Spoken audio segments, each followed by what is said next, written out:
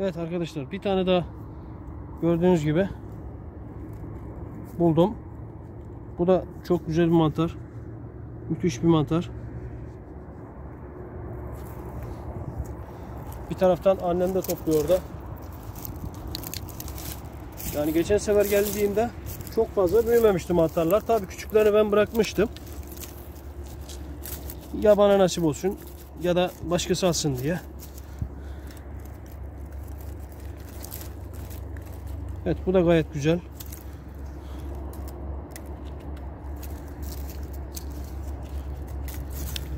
Yani kültür mantarının doğadaki hali arkadaşlar. Tabi kültür mantarından bence kat kat lezzetli bir mantar. Tamamen doğada olan bir şey bu.